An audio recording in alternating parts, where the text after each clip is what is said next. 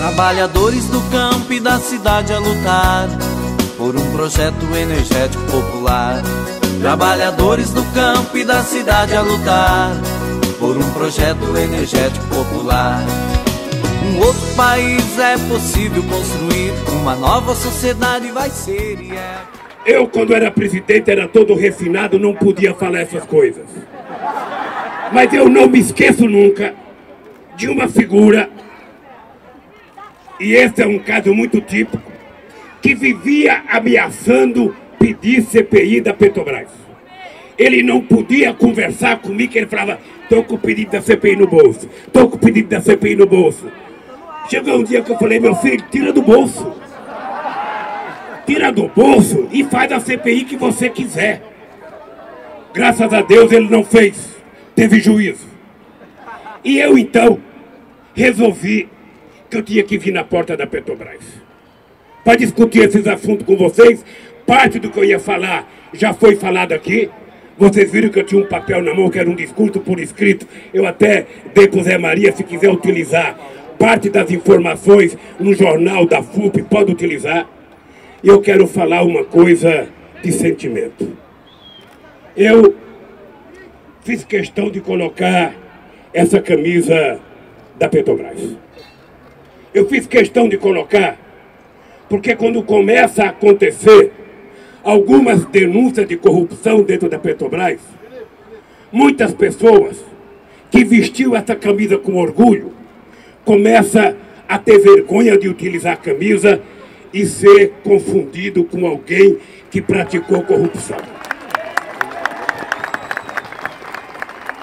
Eu falo na condição de presidente que mais visitou a Petrobras no seu mandato.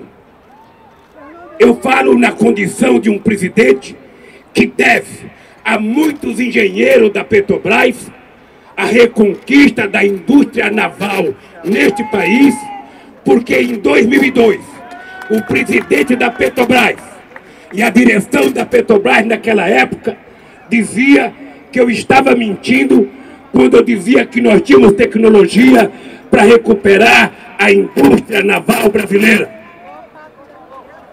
E a engenharia da Petrobras, mais o pessoal da indústria naval, provou de que o papel de um verdadeiro metalúrgico que trabalhava estaleiro não era vender cerveja nas praias de Angra, mas sim trabalhar construindo navio para esse país.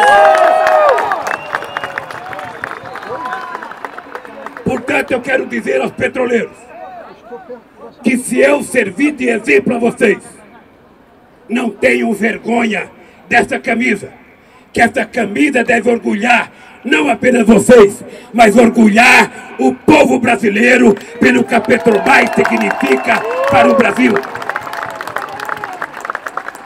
E os milhares e milhares de trabalhadores dessa empresa não pode ser confundido com alguém que porventura possa ter cometido um erro qualquer. Se alguém praticou um erro, se alguém roubou, esse alguém tem mais é que ser investigado, ser julgado e se for culpado tem que ir para cadeia e o povo da Petrobras tem que ter orgulho da sua camisa. Em segundo lugar, companheiros e companheiras, eu lembro do orgulho quando entrou na minha sala, um dia, a mais ou menos seis e meia ou sete horas da tarde, o companheiro Estrela e o companheiro Zé Sérgio Gabriele, com um monte de papel na mão, uns mapas coloridos, para me dizer que tinha encontrado o Persal.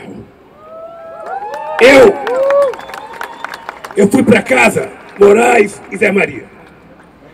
E conversando com a Marisa, eu dizia, Marisa, não é possível que eu tenha nascido com um negócio para a lua. Não é possível. Porque foi na minha gestão que a gente tinha conquistado a autossuficiência. E foi na gestão que nós anunciamos a maior descoberta de petróleo contemporânea feita em todo o planeta Terra. Eu, Eu não acreditava que fosse possível a gente tirar petróleo de 7 mil metros de profundidade. Eu fiquei extremamente preocupado, porque na hora que a sonda descesse, a gente poderia trazer um japonesinho, um coreano ou um chinês, ao invés de trazer petróleo. E muita gente dizia, ô Lula, vocês estão discutindo esse investimento estratégico do pré-sal, a Petrobras não tem tecnologia ainda, vai ser muito difícil tirar esse petróleo. Pois bem, aqueles que diziam isso, é preciso a gente dizer que da data que nós descobrimos o pré-sal até agora, nós estamos tirando mais petróleo do que tiramos nos primeiros 31 anos da Petrobras. Em apenas oito anos, nós já tiramos mais petróleo do pré-sal do que nos primeiros 31 anos da Petrobras. E eu fico pensando, quem é que não quer que vá adiante esse projeto estratégico da Petrobras? Quem é que a gente não cumpra a meta de chegar a 4 mil barris de petróleo em 2020? Quem é que não quer que a gente construa as refinarias neste país, não apenas para refinar o que nós precisamos, mas para exportar, para exportar produtos com valor agregado e não apenas óleo cru, como eles pensavam que nós íamos exportar. Deixa eu olhar minha garganta aqui, Zé Maria. Eu fui tão gentil com você, põe você entre... No tempo que eu tomava um conhaque, era um só, e a garganta ficava molhada o dia inteiro. Agora, na água... Vai, vai, vamos assim mesmo. Olha, quem é quem é que não gosta? O fato de nós termos aprovado a partilha do petróleo do pré-sal. Transformar essa riqueza numa riqueza do povo brasileiro. Quem é que está incomodado da gente criar uma empresa pública estatal para tomar conta desse petróleo? Quem é que está contra a gente ter aprovado 75% do royalties, para a educação neste país e 25% para a saúde. Certamente não é nenhum trabalhador brasileiro. Certamente não é nenhum petroleiro. Certamente não é nenhum brasileiro que ama este país. Porque o petróleo é o passaporte do futuro deste país. O passaporte é a coisa que mais pode dar garantia da gente fazer no século 21 aquilo que a gente não conseguiu fazer no século 20. Imagina que sem petróleo a gente já tem filho de pedreiro se formando engenheiro, filho de empregada doméstica se formando médico. Outro dia lá em São Paulo, o filho do jardineiro do cemitério da Vila Formosa fazendo relações exteriores, sendo diplomata. Olha, se a gente conseguiu fazer isso sem o petróleo, imagina o que a gente pode fazer quando a gente estiver tirando 4 mil barris de petróleo e exportando para o mundo inteiro. E não é apenas o petróleo. Não é apenas o petróleo. É a indústria petroquímica que vai surgir por conta disso. É a indústria naval que parecia ser impossível, e é só visitar os estaleiros do Rio para ver que tinha metalúrgico habituado a ficar lixando o casco de navio podre. Hoje ele está fazendo navio novo para levar petróleo e o que mais quiser para fora. Havia gente que queria neste país que a Petrobras se. Vocês estão lembrados que no governo deles eles venderam praticamente 62% das ações da Petrobras em oito anos. Na verdade, o que eles queriam era entregar a Petrobras. Graças a Deus, os trabalhadores, o movimento sindical, o movimento social e os partidos de esquerda se mobilizaram e não deixaram fazer. Eles não se conformam. Por que no nosso governo e não no governo deles? E eu, às vezes, falo aquilo que disse o companheiro Zé Eduardo Dutra aqui. E eu fiz questão de pedir para o Zé Eduardo Dutra falar. Porque ele foi presidente da Petrobras. E quando ele entrou aqui, tinha muita gente de cabeça baixa. E hoje, a gente precisa dizer para os companheiros da Petrobras: levantem a cabeça, porque vocês são brasileiros que têm direito de ter autoestima muito evoluída. E se alguém um dia pensa em acabar com aquilo que a Petrobras pode significar para esse país, não vai ser já. Eu quero até agradecer o Zé Eduardo, porque ele falou coisas aqui que eu, teoricamente, não podia falar. Mas, gente, se tem uma coisa que você não pode terceirizar, é o cargo de presidente da República. Esse é um cargo. Esse é um cargo que você não pode terceirizar. Ou você assume ou não assume. Esse negócio de pedir para cada um falar um pedacinho das coisas que vai acontecer nesse país não dá certo. Afinal de contas, este país é grande, mas não é uma coxa de retalho que pode ser subdividida em centenas ou centenas de interesses. Eu, se fosse a candidata que faz oposição a Dilma, proibiria os seus economistas de falar, porque cada um que fala, fala mais bobagem do que o outro, e ela vai acabar. Ela vai acabar mostrando o que pode acontecer num programa de governo feitas a 500 mãos, menos a dela. Queridos companheiros e companheiras, eu estou convencido que, como o Zé Eduardo Dutra disse, eu não costumo falar mal de político no meu, nas minhas candidaturas. Eu lembro de político chamando Sarney de tudo quanto é nome. Eu lembro de político indo na porta do Palácio do Planalto e do Alvorada colocar denúncia de corrupção. Eu não tenho por hábito fazer isso. Eu, como não quero falar mal dos outros, eu só tenho que falar mal, só tenho que falar mal, sabe, dos nossos erros e falar bem da minha candidata. É, e eu digo, eu digo, eu digo todo dia eu digo todo dia uma coisa, gente. Eu tenho 34 anos de partido político, Lupe. 34 anos de partido político. Tem gente que milita comigo desde quando a gente criou esse partido. Eu tinha mais de 30 ministros. Tinha gente com muita experiência. Alguém há de perguntar, mas por que, que o Lula foi escolher exatamente a Dilma e não alguém ligado a ele historicamente? é porque eu não vi a presidência da República como um clube de amigos. Ele críticas a Dilma porque o PIB não está crescendo. Agora é importante lembrar que o PIB não está crescendo o tanto que eu gostaria que crescesse e que a Dilma gostaria que crescesse. Mas pega os países do G20 e veja quantos o PIB estão crescendo mais do que o nosso.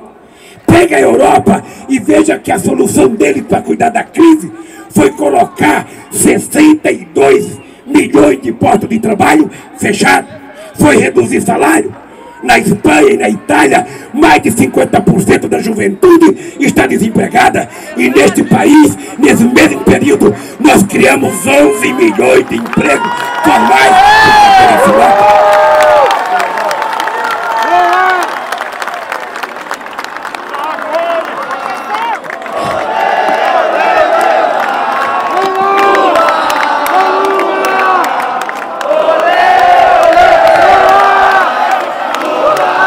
Eu acho João Pedro Stedley fantástico.